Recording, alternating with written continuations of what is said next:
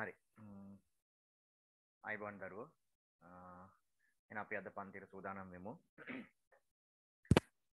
ගිය සතියේ පොඩි මගේ මැසින් එකේ කාර්මික දෝෂයක් කළා. කරේ එපෑරකට දුන්නා. මට ඉරට දෙනවා කියලා කිව්වට හම්බුන්නේ නැහැ. හවස් වෙනකලු රයිට් ඒ හින්දා පන්තිර සම්බන්ධයෙන් බැරි වුණා. හරි. කමන්න අපි අද පන්තිර ඉදිරි කටයුතු කරගෙන යන්. ඇහෙනව නේද පුතේ? ඇහෙනවද? ඔව් සර් ඔව් ඇහෙන්නත්තන් කියන්න පොඩක් වැස්සත් එක්කින්ද සිග්නල් පොඩක් ඩ්‍රොප් වෙන ගතියක් තියෙනවා. මොන හරි ගැටලුවක් තිබ්බොත් ටක් ගාලා කියන්න. හරි අපි එදා හවුල් ව්‍යාපාර ගැන කතා කරගෙන ආවේ. මම හිතන්නේ හවුල් ව්‍යාපාරවල මූලික හවුල් ව්‍යාපාරය පිළිබඳ හවුල් ව්‍යාපාරයක් කියන්නේ මොකක්ද? ඒකේ තියෙන වටපිටාව නීතිමය තත්ත්වය නේද? ඒ සම්බන්ධයෙන් අපි සාකච්ඡා කරා. හරිද? ඊට අමතරව එතිනින් එහාට අපට සාකච්ඡා කරන්න තියෙන අපි මම හිතන්නේ ඒ ටික සාකච්ඡා කරා අපට එතනින් එහාට සටහන් මුකුත් ගන්න බැරි වුණා. මොකද්ද? හවුල් කරුවන් කොහොමද ව්‍යාපාරයකට හවුල් ව්යාපාරයේ කටයුතු වලට සම්බන්ධ වෙන්නේ කියන කාරණේ. නේද? එහෙම නැත්නම් අපි කතා කරා හවුල් ව්‍යාපාරවලට තියෙන සුවිශේෂී ගනුදෙනු මොනවද කියන කාරණේ තමයි අපිට කතා කරන්න තියෙන්නේ. නේද? අපි එදා කතා කරා හවුල් ව්‍යාපාරයක තියෙන මූලිකම කාරණා ටික. නැත්තම් මූලික තොරතුරු ටික අපි සාකච්ඡා කරලා තියෙන්නේ නේද? ඊට පස්සේ අපිට සාකච්ඡා කරන්න තියෙන්නේ මොනවද? ඉදුම්කරණය පැත්තෙන් හවුල් ව්‍යාපාරවල තියෙන සුවිශේෂී තත්ත්වයන් කියන කාරණා. නේද? අපි දන්නවා තනි පුද්ගල ව්‍යාපාරයක් එක්ක සංසන්දනය කරද්දී තනි පුද්ගල ව්‍යාපාරයක තිබුණු අඩුපාඩුකම් නිසා තමයි අවුල් ව්‍යාපාර කියන දේ බිහි වුණේ. නේද? එක පුද්ගලයෙක්ට ප්‍රමාණවත් ප්‍රාග්ධනයක් සපය ගන්න බැරි හින්දා තමයි දෙන්නෙක් තුන්දෙනෙක් එකතු වෙලා ව්‍යාපාරයට අවශ්‍ය ප්‍රාග්ධනය සපය ගන්න සූදානම් වුණේ. එහෙමනේ වුණේ. නේද? ඊට පස්සේ දෙන්නෙක් තුන්දෙනෙක් ප්‍රාග්ධනය දැම්මට පස්සේ ඒ දෙන්න තුන්දෙනා ව්‍යාපාරයේ ලාභේ බෙදා ගන්න සිද්ධ වෙනවා. ඕකනේ වෙන්නේ ප්‍රායෝගිකව. හවුල් ව්‍යාපාරයක් තුලදී හරි. එතකොට සාමාන්‍යයෙන් අපි කතා කරොත් එහෙම හවුල් ව්‍යාපාරයකත් සාමාන්‍ය තනිපුද්ගල ව්‍යාපාරයක වගේ නේද? වෙළඳ ගිනුම එහෙම නැත්නම් දල ලාභය ශුද්ධ ලාභය අන්න එතෙන්ට යනකම් සාමාන්‍ය පරිදි අපේ ගිනුම් කටයුතු ටික කරගෙන එන්න පුළුවන් අපිට. තේරුණාද? මොකක්ද? දල ලාභයේ සෙවීම ශුද්ධ ලාභයේ සෙවීම වගේ කාරණා තනිපුද්ගල ව්‍යාපාරයක් හා බොහොම සමීපයි. ඒ වගේම තමයි වෙනසක් නැහැ. එතකොට ශුද්ධ ලාභය නිකන් අපි හොයාගෙන ආවට පස්සේ අන්න දැන් ওই ලාභයට අපි මොකද්ද කරන්නේ? ওই ලාභය තමයි අපි තනිපුද්ගල ව්‍යාපාරයක නම් කෙලින්ම ප්‍රාග්ධනයට අපි එකතු කරා. නේද? මූල්‍ය තත්ත්ව ප්‍රකාශනෙත් අපි ප්‍රාග්ධනයට එකතු කරා. මොකද එතන හිටියේ තනි අයිතිකාරයයි අයිතිකාරයෝ එක්කෙනයි. එයාට එහෙනම් අපි ඒකේ ලාභේ හිමිකම ලබා දුන්නා. නේද? හැබැයි හවුලකදී අපට මේ ශුද්ධ ලාභයෙන් එහාට තව පියවරක් අපට ප්‍රකාශනයක් සකස් කරන්න සිද්ධ වෙනවා. නේද? මොකක්ද කරන්න ඕනේ? මොකක්ද කරන්න ඕනේ? මේ අපි උපයගත්ත ශුද්ධ ලාභය මේ සිටින හවුල්කරුවන් අතරේ කොහොමද බෙදා හරින්නේ කියන කාරණේ අපි සලකා බැලිය යුතු වෙනවා. තේරුණාද? එතකොට මේ යම් යම් ගණනය කිරීම එහෙම නැත්නම් මේ ශුද්ධ ලාභයට යම් යම් ගැලපීම් කිරීමට අපට සිදු වෙනවා මේ ශුද්ධ ලාභය යම් යම් අලුතෙන් හවුල් ව්‍යාපාරයට ආවේනික වෙච්ච ගනුදෙනු නිසා මේ ශුද්ධ ලාභයට යම් ගැළපීම් කරලා ඒ නාගයන් අපට හවුල්කරුවන් අතරේ විවිධාකාරයට බෙදා ගන්න සිද්ධ වෙනවා. දැන් එදා මතකද මම අර පොඩි chart එකක් ඇඳලා පෙන්නවුවා හවුල් ව්‍යාපාරයේ හවුල්කරුවෝ කොහොමද ව්‍යාපාරයට දායක වෙන්නේ කියන කාරණේ. නේද? මොන මොන දේවල් වලින්ද ව්‍යාපාරයට දායක වෙන්නේ? නේ? එකක් තමයි හවුල්කරුවෝ ව්‍යාපාරයට කොහොමද දායක වෙන්නේ? ප්‍රාග්ධනය යොදවනවා. නේද? එකාකාරයක් තමා ප්‍රාග්ධනය යොදවන. ඊට පස්සේ ඊට අමතරව කළමනාකරණයට දායක වෙන එකක් තමා ප්‍රාග්ධනය යොදවනු ප්‍රාග්ධනය යෙදවීම. දෙවනි එක තමා කළමනාකරණයට සහයවීම දායක වීම. දායක වීම. ආයි මොනවද කරන්නේ අවුල් කරුවෝ ව්‍යාපාරයත් එක්ක ගනුදෙනු කරද්දී මේකේ අවදානම දරනවා නේද? අවදානම් දැරීම.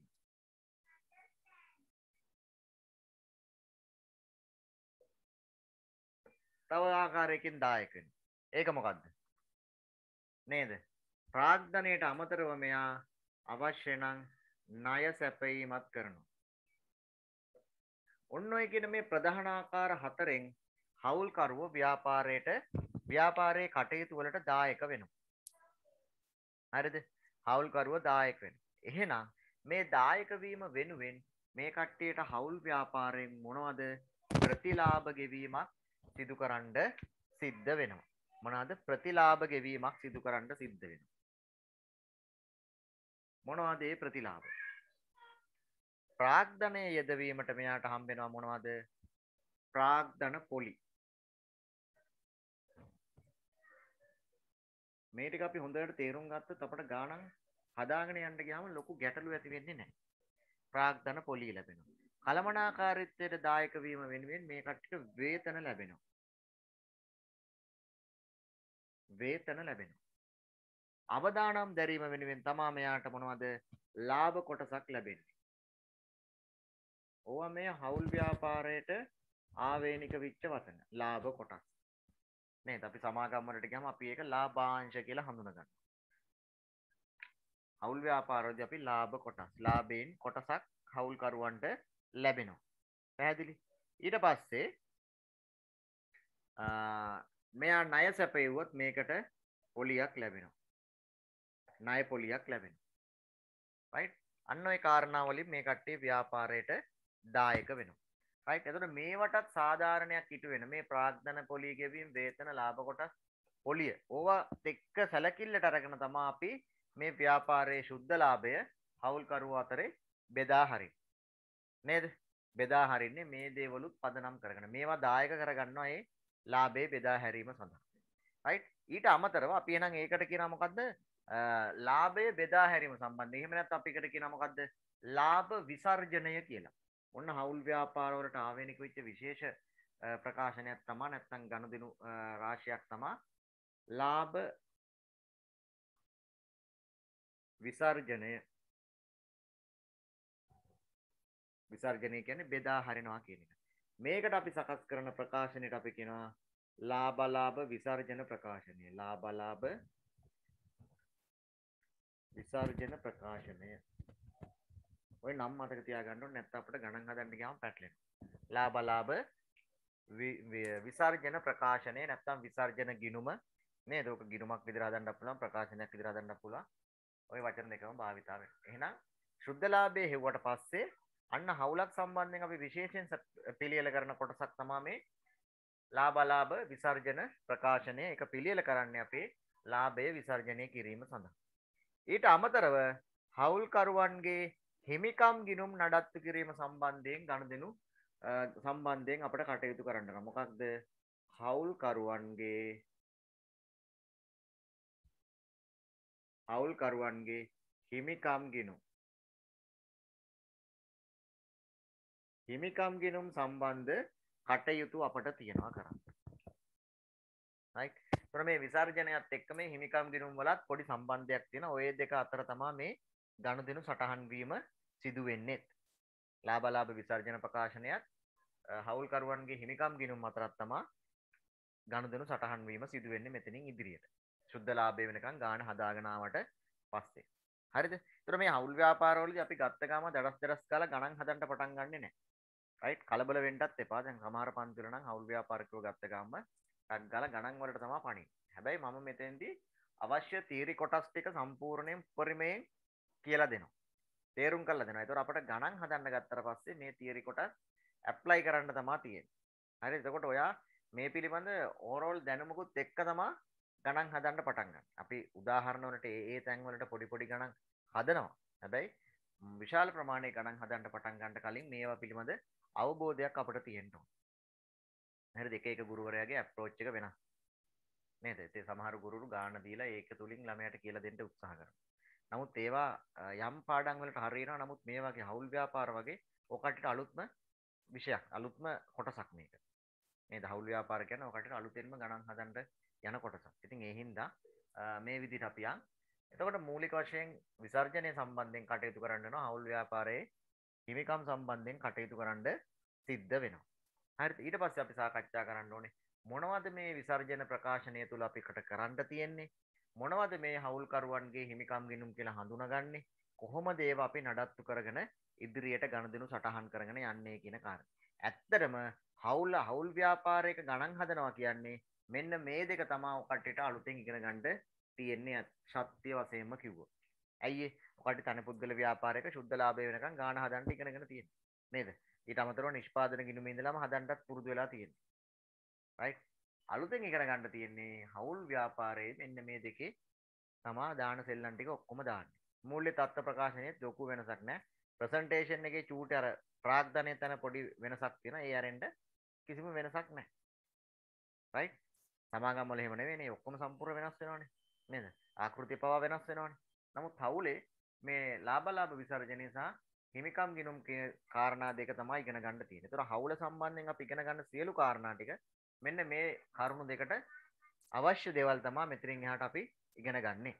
right? එහෙනම් මෙතනින් එහාට අපි ගොඩක් කලකට හවුලට ආවේනික වෙච්ච ගනුදෙනු ටික තමයි ඉගෙන ගන්න. මං කියවනේ අපි තනිපුද්ගල ව්‍යාපාරයක් වෙනකන් සාමාන්‍යයෙන් තනිපුද්ගල ව්‍යාපාරයක අවසාන ගිණුමකට එන්න පුළුවන් සියලු දේවල් ටික අපි එතෙන්ද ඉගෙන ගන්නවා. තර හවුලට ආවට පස්සේ අපට ඉගෙන ගන්න තියෙන්නේ හවුල් ව්‍යාපාරයට ආවේනික වෙච්ච ගනුදෙනු ටික පමණයි. right මේ ටික අපිට සාකච්ඡා කරගෙන ඉදිරියට යන්න තමයි අද දවසේ තියෙන්නේ. Right ඒ හින්දා ලියා ගන්න හවුල් ව්‍යාපාර සඳහා ගිණුම්කරණය මාතෘකාව ලියා ගන්න හවුල් ව්‍යාපාර සඳහා ගිණුම්කරණය හරි. ලියන්න ඉතින් පොඩි වාක්‍යයක් ලියලා අපි පල්ලෙහාට ගමු. ලියන්න.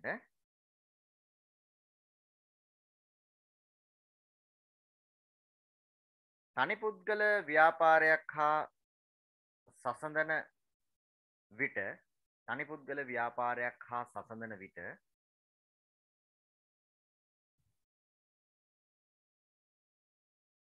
හවුල් ව්‍යාපාර ගිනුම් කරණයේදී හවුල් ව්‍යාපාර ගිනුම් කරණයේදී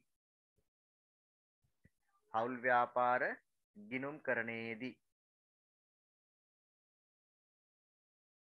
අවුල් ව්‍යාපාර ගිනුම් කරණයේදී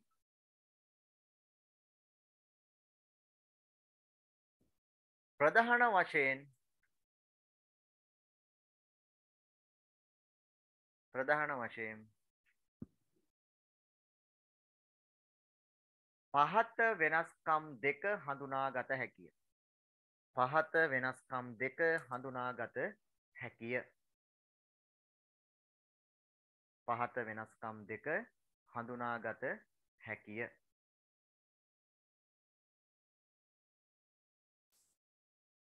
හරි. පලන ලියන්ට එක. හවුලේ ලාභ විසර්ජනය සම්බන්ධයෙන්. පිහම ගමු. හවුලේ ලාභ විසර්ජනය සම්බන්ධයෙන්.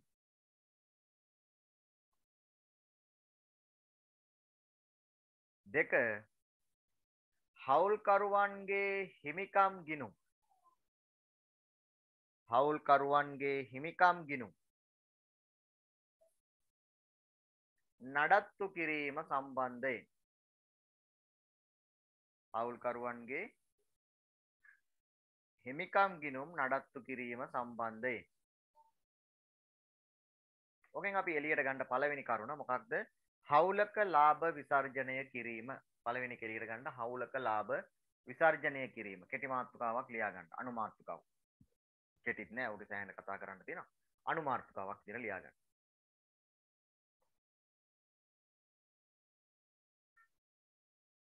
හරි.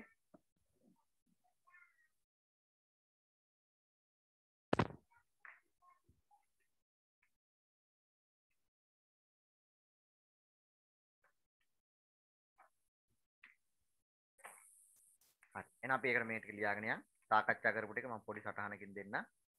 right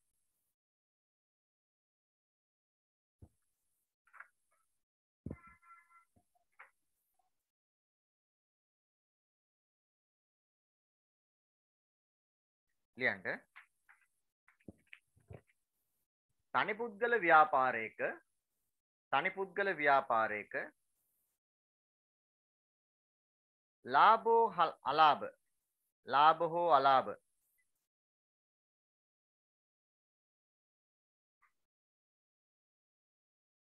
අලාභ.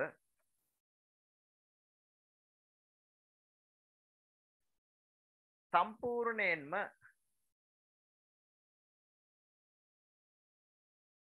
එහි තනි අයිතිකරු භුක්ති විඳි. එහි තනි අයිතිකරු භුක්ති විඳි. නමුත් හවුල් ව්‍යාපාරයකදී නමුත් හවුල් ව්‍යාපාරයකදී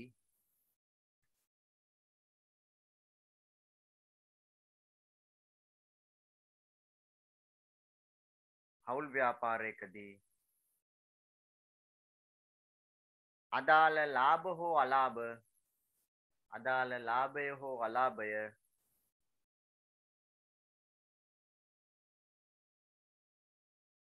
සිටින හවුල්කරුවන් අතරේ සිටින හවුල්කරුවන් අතරේ බෙදා දිය යුතුය. බෙදා දිය යුතුය.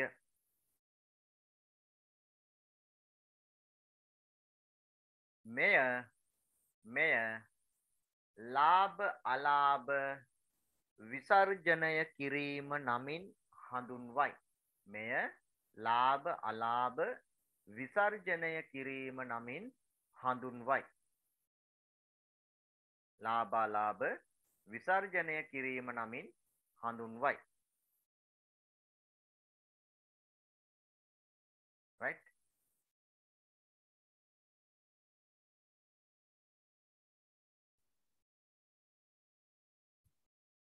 එතකොට හවුලකත් ආදායම් ප්‍රකාශනයේ අරමංකේ මූලික කරුණු ටික වෙනස් වෙන්නේ නැහැ. ආදායම් ප්‍රකාශනයේ අවසාන කොටසට තමා මේ ලාභ ලාභ විසර්ජනය කොටස එන්නේ. right ලියා ගන්නට. ඒ අනුව ඒ අනුව ඒ අනුව හවුල් ව්‍යාපාරයක ආදායම් ප්‍රකාශනය හවුල් ව්‍යාපාරයක ආදායම් ප්‍රකාශනය හවුල් ව්‍යාපාරයක ආදායම් ප්‍රකාශනය පහත අවස්ථාවන්ගෙන් සමන්විත වේ. පහත අවස්ථාවන්ගෙන් සමන්විත වේ.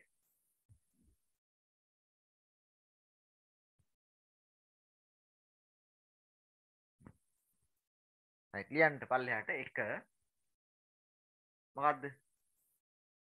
අපේ නිෂ්පාදන හවුලක්ම ගමුකෝ. නිෂ්පාදන ගිණුම.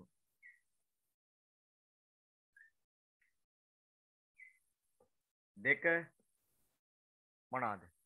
වෙළඳ ගිණුම.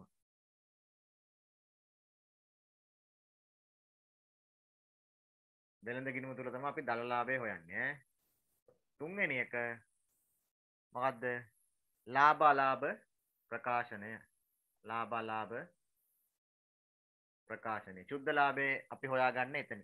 ඔන්න අපේ අලුත් එක හතරවෙනි එක තමයි මොකද්ද? ලාභ අලාභ විසර්ජනය. ලාභ අලාභ විසර්ජනය. ලාභ අලාභ විසර්ජනය. right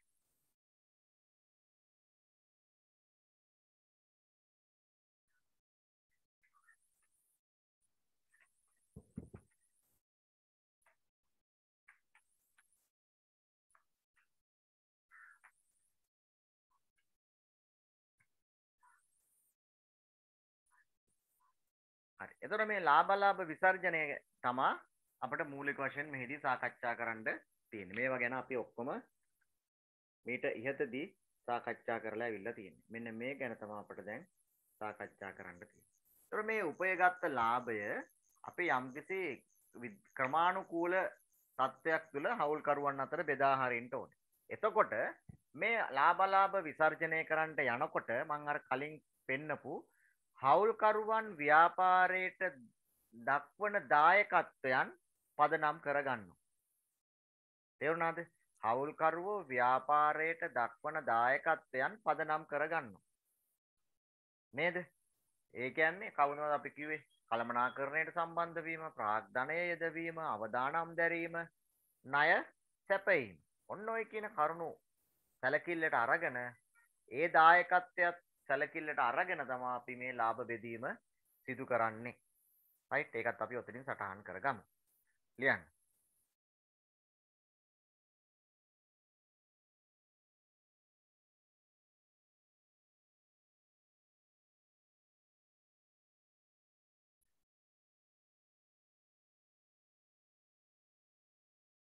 ලියන්න ඊළඟ ඡේදෙන් ලියාගන්න හවුල් ව්‍යාපාරයක හවුල් ව්‍යාපාරයක ලාභලාභ බෙදා හැරීමේදී ලාභලාභ බෙදා හැරීමේදී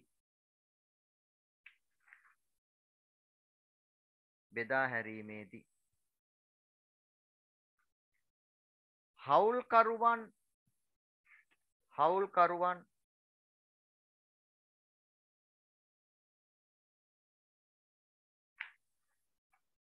හවුල් ව්‍යාපාරයට දක්වන දායකත්වයන් හා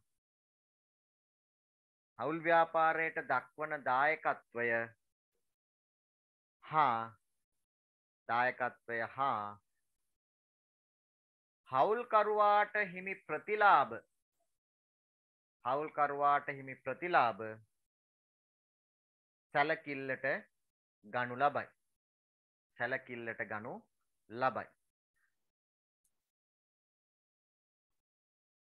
අවුල්කරුවාට හිමි ප්‍රතිලාභ සැලකිල්ලට ගනු ලබයි.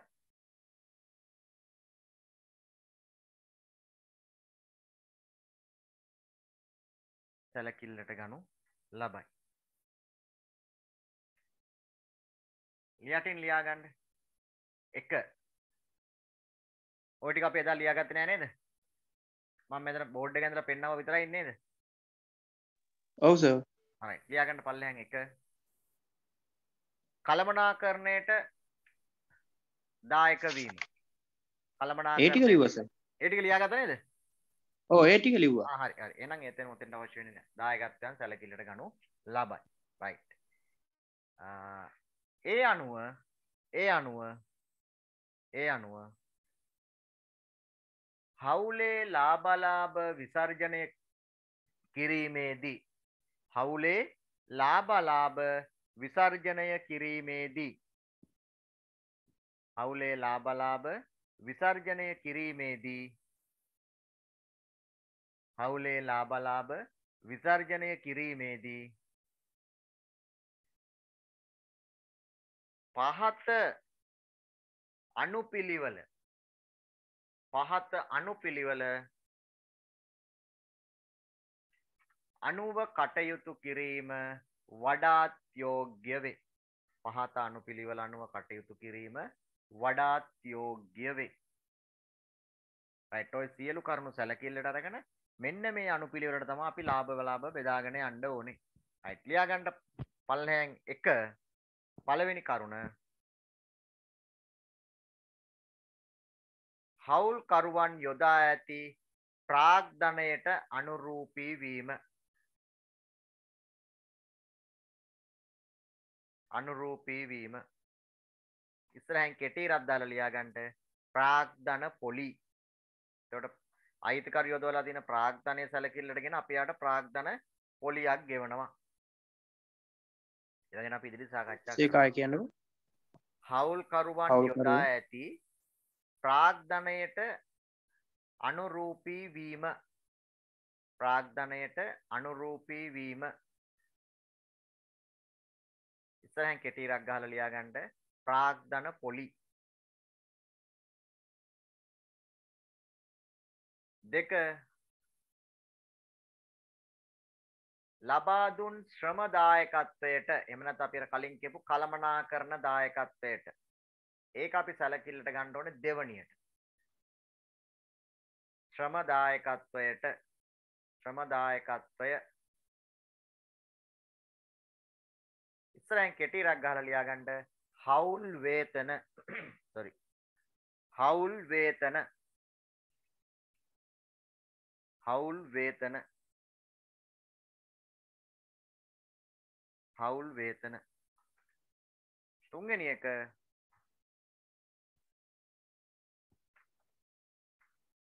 තුන්වෙනි එක අපි මෙතන සැලකිල්ලට ගන්නවා මොකක්ද? ජංගම ගිනුම් වල ලියාගන්න මම පැහැදිලි කරනවා. ජංගම ගිනුම් වල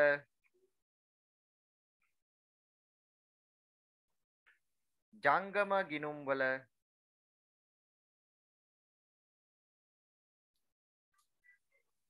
බැරශේෂ සඳහා නැත්නම් ජංගම ගිනුම් වල බැරශේෂ අපි සැලකිල්ලට ගන්නවා ජංගම ගිනුම් වල බැරශේෂ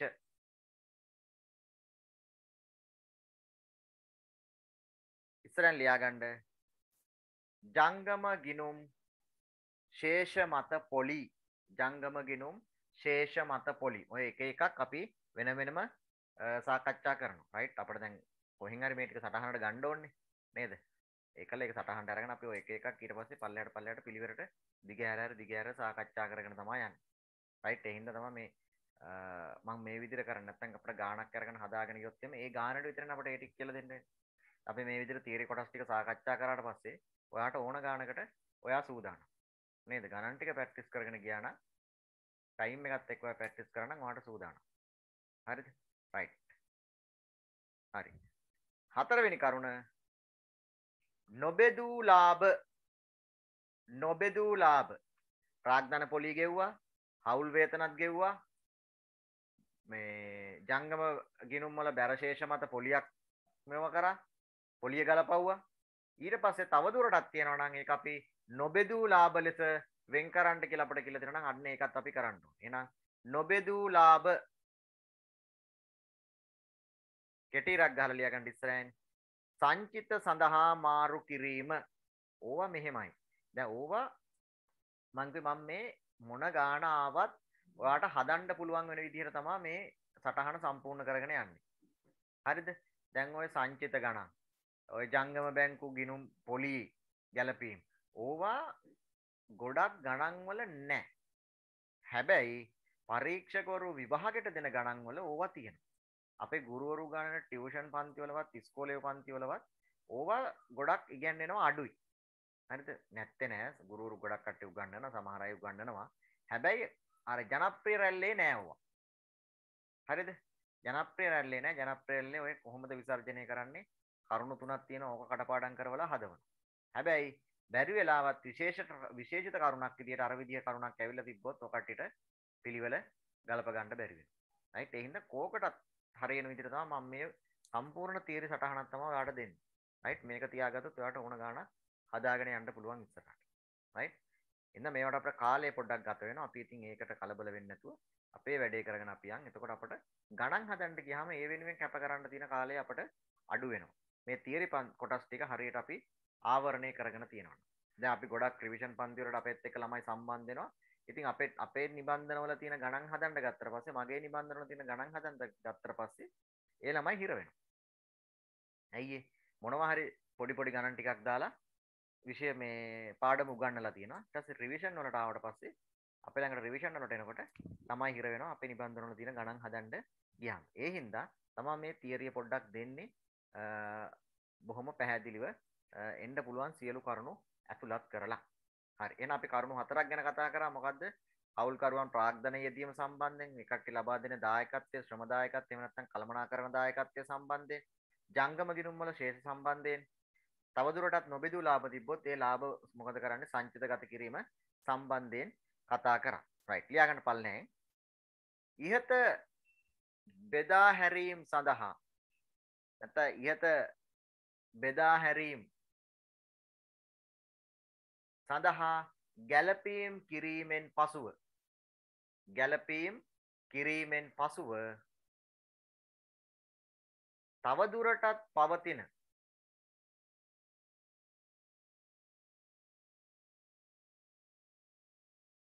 තවදුරටත් පවතින ලාභ හෝ අලාභ ලාභ හෝ අලාභ ඉන්නටත් කමාතුර දාලා ලියාගන්නට ලාභ හෝ අලාභ කොටස් වශයෙන් ලාභ හෝ අලාභ කොටස් වශයෙන්